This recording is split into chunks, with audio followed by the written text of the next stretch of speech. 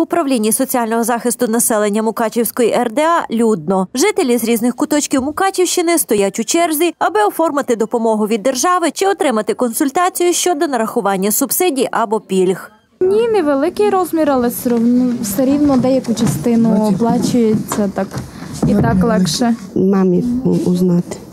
Вже ще не мають субсидії. Сюди постійно ходимо і не знаю. Я не знаю чому. Теж тепер прийшла, що е, нема субсидії. У них нема заборгованості.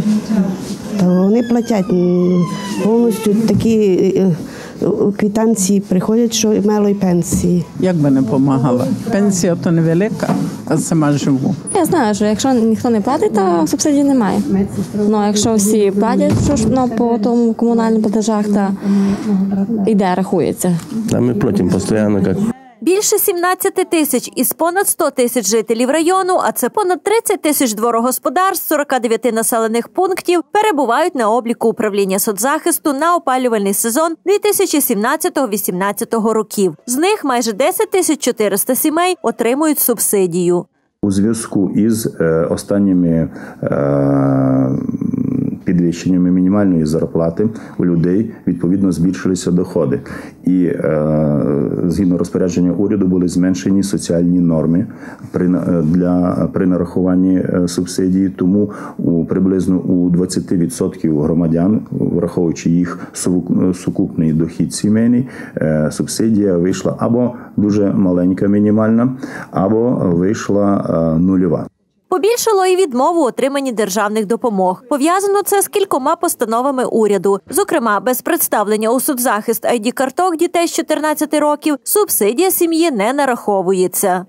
Якщо при повторному зверненні, тобто людина в прошлому році мала нараховану субсидію, звертається з заявою продовжити її, а у неї є заборгованість, яка складає більше 340 гривень, то в такому випадку людині е, субсидія не нараховується до моменту погашення своєї заборгованості. Субсидія призначається повторно і при реструктуризації боргу надавачем послуг. Тобто споживач сплачує одразу частину, як правило, 50% суми заборгованості, а решту за договором розбивають на визначений період.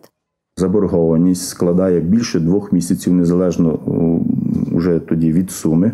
Якщо він отримує субсидії і два місяці не платить за свої е, послуги, в такому випадку е, субсидія припиняється і продовжується з моменту, е, якщо час на погашення заборгованості складає в межах до місяця приблизно, з дня припинення ми можемо поновити.